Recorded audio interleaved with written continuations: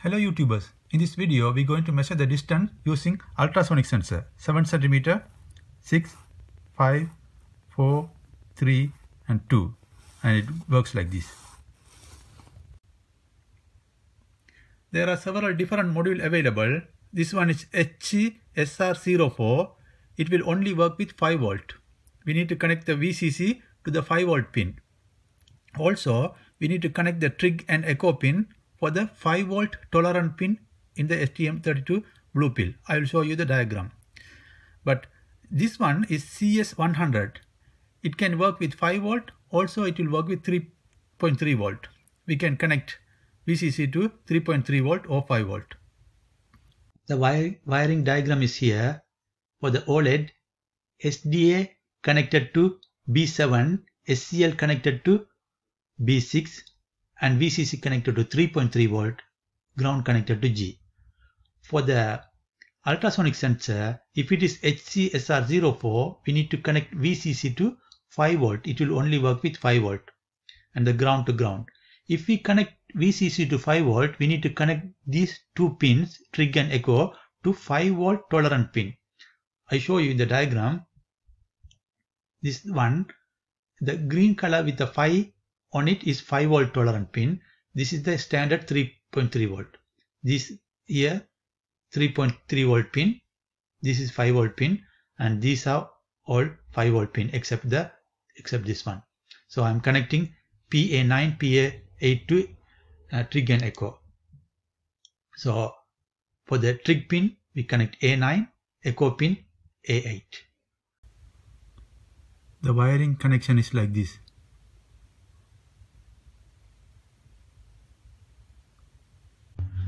Have opened the Cube IDE. If anybody doesn't know how to install Cube IDE, I have made a separate video. It's available here. We can continue. Click System Core. Click Sys. For the debug, serial wire. Click RCC. For the high speed clock, click Crystal Ceramic. Select Clock Configuration tab. In this area, enter 72 and enter and click OK. While this one is finished, we can click the pinout and configuration again. Ah, finished. You can click it again. Click timers. Click TIM1 for the clock source, internal clock. Configuration, parameter setting, prescaler, we change this to 71. Enter. Now click connectivity, click IC I2C1. For I2C, select I2C. For the configuration parameter setting, I2C speed is fast mode. Now for the pin PA9, we make it GPIO output. PB, PA, PA8 GPIO input. That's all the setting. We can click save. While the code is being generated, in the description below, I have given a website address. There I have given all the codes. When we go there, this one, we go below, the diagram is here, the picture is here, CubeID setting is here, we've already done. There are library, we have to put four files. In core INC folder, we need to put these two. Core SRC folder, we need to put these two. I show how to do it. I do one and then I do other three quickly. I fast forward the video for that. Select the fonts.h and we control A to copy all of them.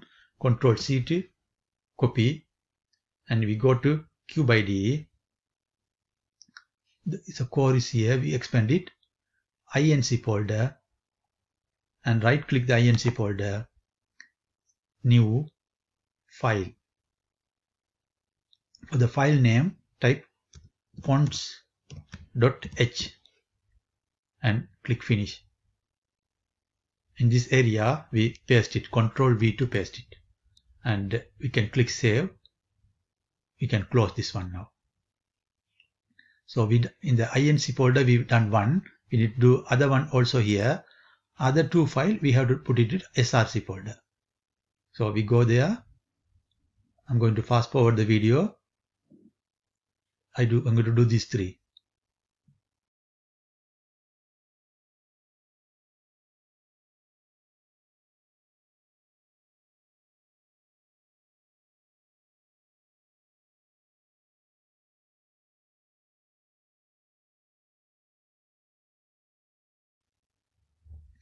Yeah, we have created fonts H SSDH here, font C SSD 1306C here.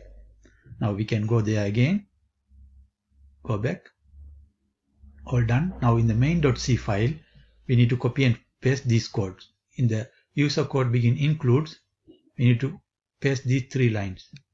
Control C to copy. Here user code begin includes, we paste it. in the user code begin PV, we need to copy from here until here. Copy it and in the PV,